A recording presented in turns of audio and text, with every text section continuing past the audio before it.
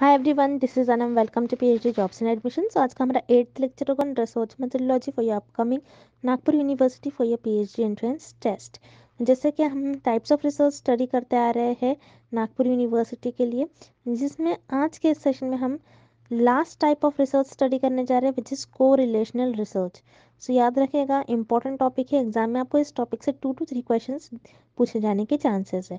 अच्छे तरीके से सारे आपको एम को देख लेना है एंड तक, ठीक है? अब उसी के साथ साथ मैं आपको बता दूँ, आपका पीएचडी एंट्रेंस टेस्ट जो है इस यूनिवर्सिटी का, वो सेवन्थ अक्टूबर से ट्वेंटी अक्टूबर के बीच में कंडक्ट करवाया जा रहा है, जिसके लिए आपको सिलेबस पता होना चाहिए, पेपर पैटर्न क्या होगा ये पता होना चाहिए तो मैं आपको इन शॉर्ट बता दूँ। आपके पेपर में टोटल हंड्रेड एम सी पूछा जाएगा और जिसको इन्होंने दो पार्ट्स में डिवाइड कर रखा है, सेक्शन ए, सेक्शन बी। दोनों भी सेक्शन में आपको फिफ्टी फिफ्टी एम सी पूछा जाएगा। सेक्शन ए आपका रिसर्च मेथोडोलॉजी पर होता है, जिसमें फिफ्टी एम सी पूछा जाता है for fifty marks section B आपका होता है सब्जेक्ट स्पेसिफिक जिसमें अगेन फिफ्टी एम सी पूछा जाता है फॉर फिफ्टी मार्क्स तो यहाँ पर सेक्शन ए जो कि आपका रिसर्च मेथोडोलॉजी होता है, उसके लिए हम आपको कंप्लीट कोर्स प्रोवाइड कर रहे हैं, जिसमें हम आपको video lectures notes mock test revision PDF provide कर रहे हैं।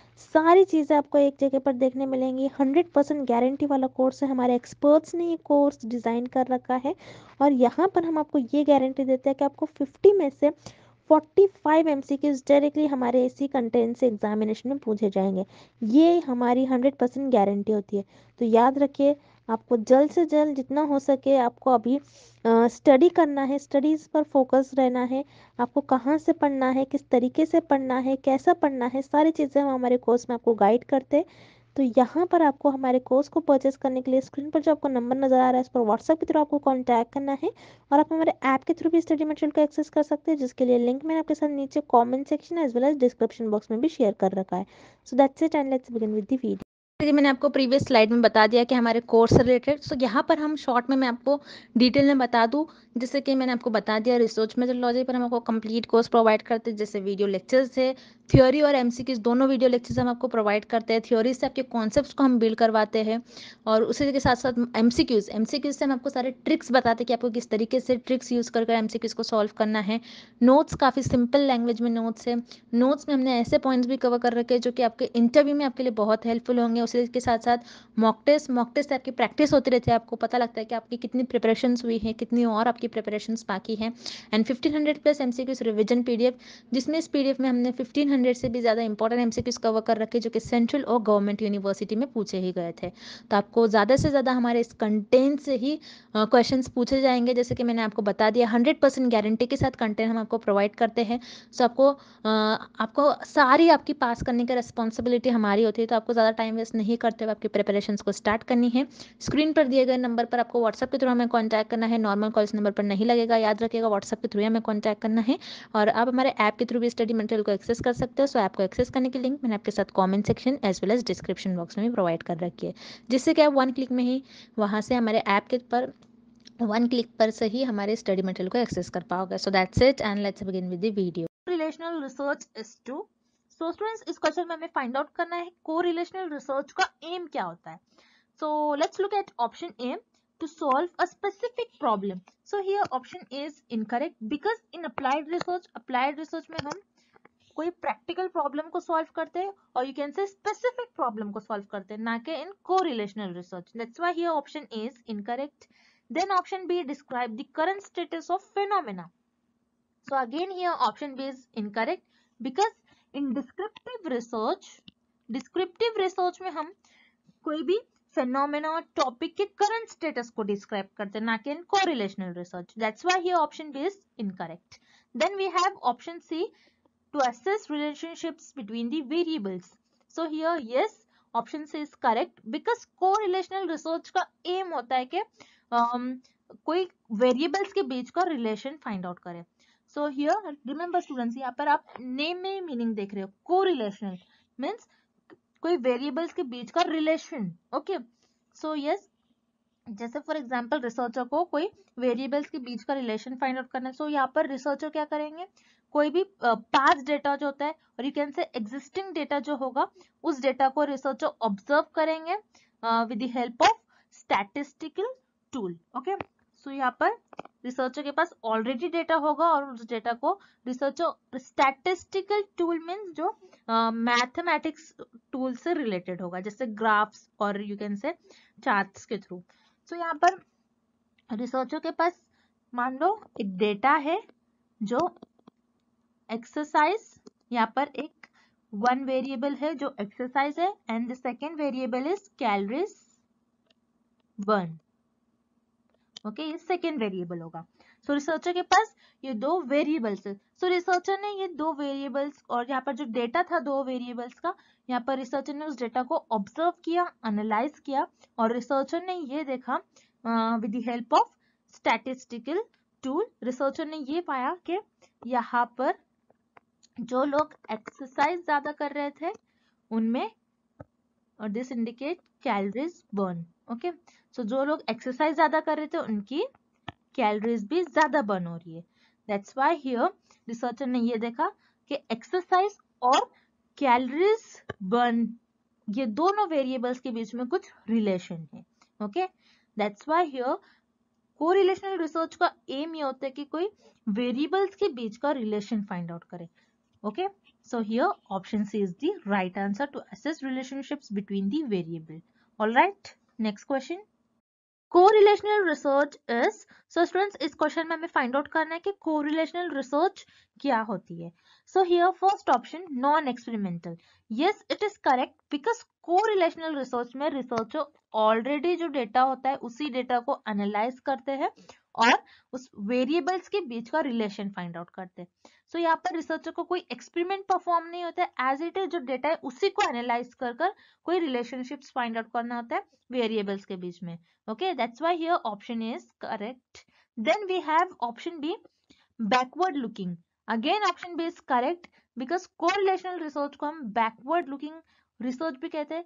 सो हियर बैकवर्ड मीन्स जैसे आपको बैकवर्ड वर्ड से मीनिंग पता चल रहा होगा, जो पास्ट इवेंट अकर होते हैं, और यू कैन से जो ऑलरेडी एग्जिस्टिंग जो डेटा होता है रिसर्च वही कोरिलेशनल रिसर्च में उसी डेटा को यूज़ करते हैं to find the relationships between the variables. That's why here option b is again correct. Then option c, experimental.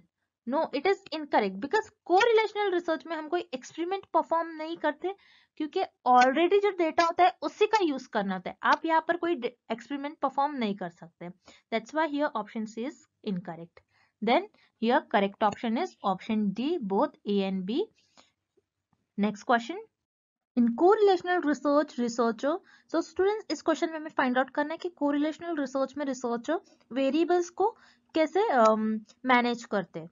So here option A is uh, influence the variable, option B manipulates the variables, C changes the variables. So remember students here influence, manipulates and change means uh, words का meaning same ही होगा uh, कि correlational research में researcher variables को क्या manipulate करते हैं या फिर चेंज करते हैं okay so remember students correlational research में रिसर्चर वेरिएबल्स को नहीं मैनिपुलेट करते हैं नहीं इन्फ्लुएंस करते और ना ही वेरिएबल्स को चेंज करते। Because in experimental research experimental research में रिसर्चर इंडिपेंडेंट वेरिएबल को चेंज करते हैं और you can say independent variable को इन्फ्लुएंस करते और मैनिपुलेट करते। बट कोरिलेशनल रिसर्च में रिसर्चर वेरिएबल्स को नहीं चेंज करते, नहीं मैनिपुलेट करते। ओके बिकॉज़ कोरिलेशनल रिसर्च में रिसर्चर को जो भी एग्जिस्टिंग डेटा होता है, वही डेटा का यूज़ करना होता है। That's why here correlational research में रिसर्चर कोई भी वेरिएबल्स को मैनिपुलेट और चेंज नहीं करते। That's why here correct option is option D none of the above next question Data from a correlational study is usually shown as a, so students, इस question में हमें find out करना है कि correlational research में researcher अपने data और result को किस ग्राफिक फॉर्म में शो करते हैं। So here we have option A scatter plot then option B pie chart, then option C bar graph. Okay. So students here pie chart, pie chart में हम data को circular form में represent करते हैं.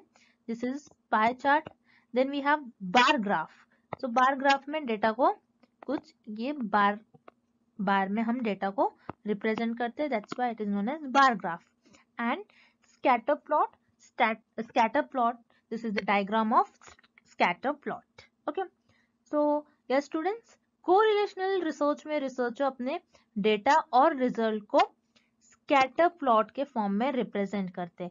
Because scatter plot के help से researcher direction of relationships find out करते हैं between the variables okay so जैसे कि आप देख रहे हो इस ग्राफ में, जैसे ईयर इंक्रीज हो रहा है सो लोकल इंडेक्स भी इंक्रीज हो रहा है।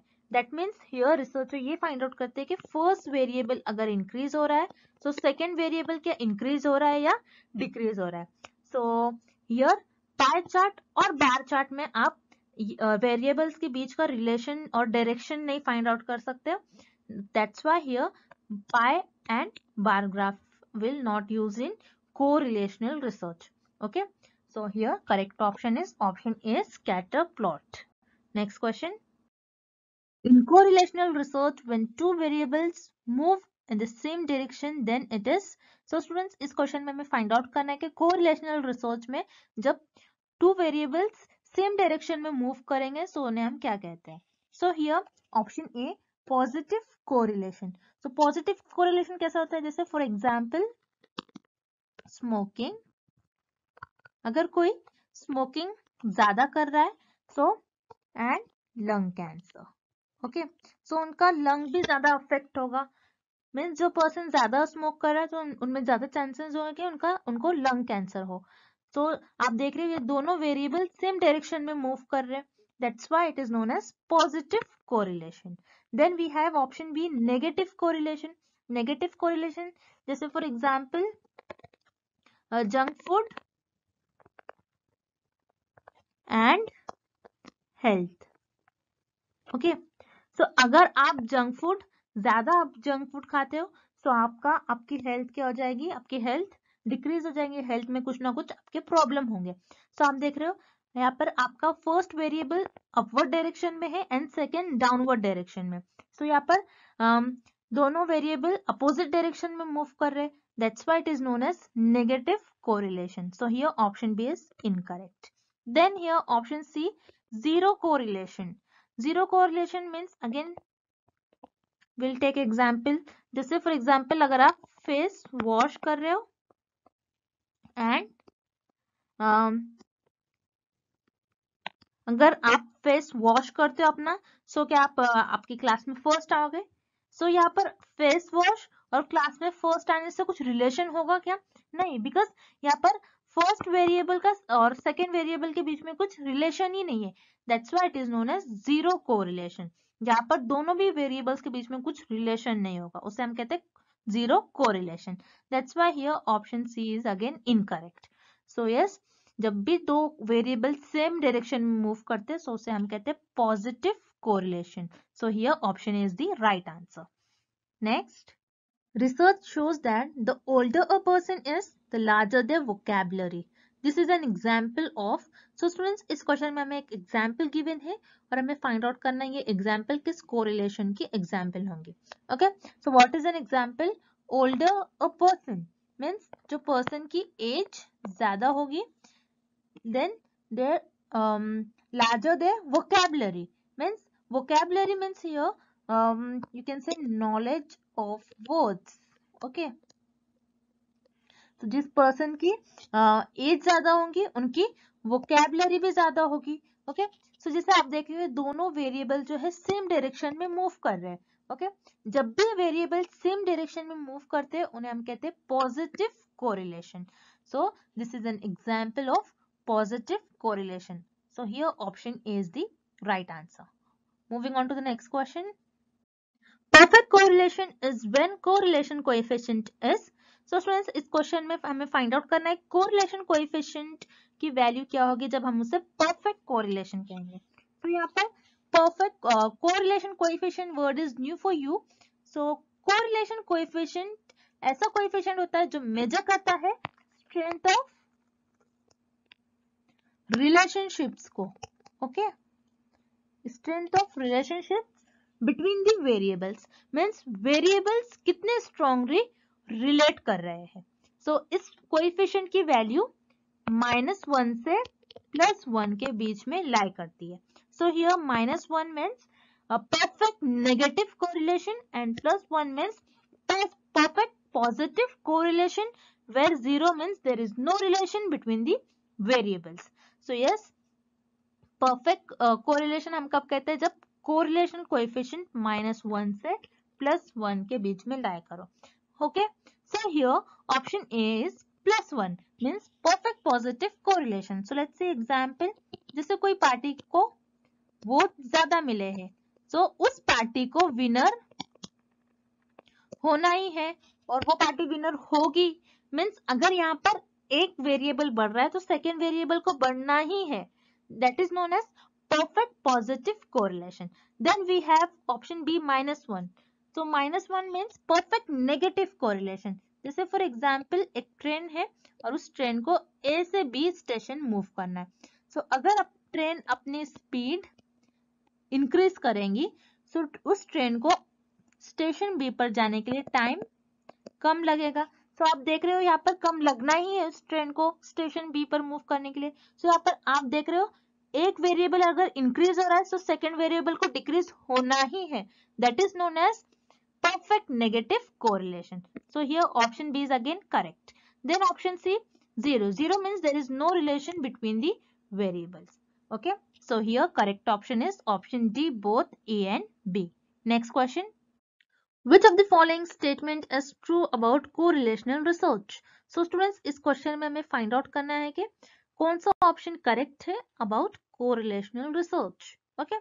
So here option A can demonstrate causation.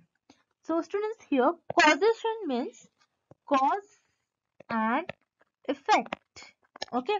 So remember students correlational research cause and effect relationships describe नहीं करता है between the variables. Correlational research बस um, relation बताता है between the variables. Okay. जैसे for example रिसर्चर ने कोई city में ये देखा कि समर में आइसक्रीम आइसक्रीम के सेल्स ज़्यादा हो रही थी और उसी मंथ में क्राइम रेट भी ज़्यादा हो रहा था। ओके? सो यहाँ पर आप ये नहीं कह सकते हो कि आइसक्रीम के ज़्यादा सेल्स होने की वजह से क्राइम रेट इंक्रीज हो रहा है। बट यहाँ पर आप देख सकते हो आइसक्रीम एंड क्राइम रेट। यहाँ पर आइसक्रीम और क्राइम रेट के बीच में पॉजिटिव कोरिलेशन है मीन्स एक वेरिएबल बढ़ रहा है तो सेकेंड भी इंक्रीज हो रहा है। सो so, यहाँ पर कॉज एंड इफ़ेक्ट रिलेशनशिप नहीं हो रहा है। क्या आइसक्रीम की वजह से क्राइम रेट इंक्रीज हो रहा है? नहीं। हम यहाँ पर कोरिलेशनल रिसर्च में cause and effect relationship find out नहीं करते। So that is why correlation does not imply causality और causation okay correlation correlational research ज़रूरी नहीं है कि cause and effect relationship show करे। That's why here option is incorrect then we have option B is use to define the problem so again option B is incorrect because हम किसी भी problem को define करते हैं understand करते हैं in exploratory research not in correlational research that's why here again option B is incorrect then we have option C. The researcher does not manipulate the variables. Yes, it is correct about correlational research because correlational research में researcher past events जो past data होता है और जो already existing data होता है और जो already data होता है उसी data को use करते हैं to show or to find the relationships between the variables. Okay, that's why here option C is the right answer. Next question. In an experiment, the researcher manipulates the dash variable and measure the dash variable. So students, इस question में हमें find out करना है कि experiment और you can say in experimental research हम कौन से variable को manipulate करते हैं और कौन से variable को measure करते हैं. So here in experiment or in experimental research researcher uh, independent variable को manipulate करते हैं और dependent variable को मेजर करते हैं और डिपेंडेंट वेरिएबल और इंडिपेंडेंट वेरिएबल का क्या इफ़ेक्ट हो रहा है डिपेंडेंट वेरिएबल पर ये फाइंड आउट करते हैं। So remember students in experiment और in experimental research in experimental research researcher independent variable को मैनिपुलेट करते हैं और यू कैन से चेंज करते हैं। Where as in correlational research correlational research में रिसर्चर किसी भी वेरिएबल को मैन्युपुलेट और यू कैन से चेंज नहीं करते। This is the major difference between experimental research और correlational research so yes in experiment और in experimental research researcher independent variable को मैन्युपुलेट करते हैं और डिपेंडेंट वेरिएबल को मेजर करते हैं। That's why your option is the right answer moving on to the next question in correlational problem both variables are so students इस question में हमें find out करना है correlation रिसर्च uh, में जो दोनों भी वेरिएबल्स होते हैं वो कैसे होते हैं? So let's see option A equal no it is incorrect because correlational research में वेरिएबल्स इक्वल हो ये ज़रूरी नहीं है it is not necessary that's why here option A is incorrect then option B unknown again here option B is incorrect because correlational research में already हमारे पास data present होता है।